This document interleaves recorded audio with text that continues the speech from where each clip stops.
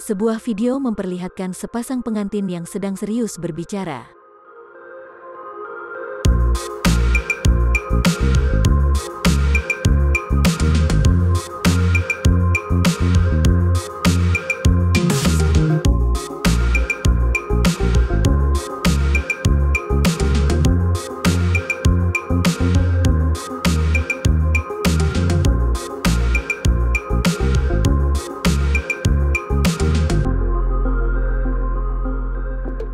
Tiba-tiba datang seorang ibu-ibu mengenakan jilbab hitam langsung mendorong pengantin perempuan hingga hampir terjatuh.